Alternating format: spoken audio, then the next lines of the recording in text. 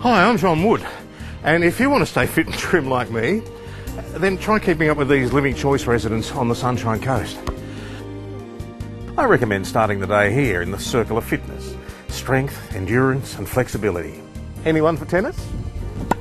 Oh, sorry. Sorry. well, let's move on.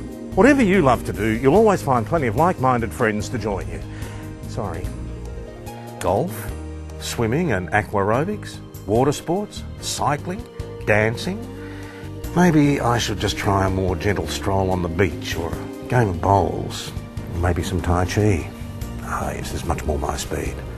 Living Choice villages are more like resorts with five star leisure centres and a calendar of fun, fitness, and well-being. So come on in today and see what the fun is all about.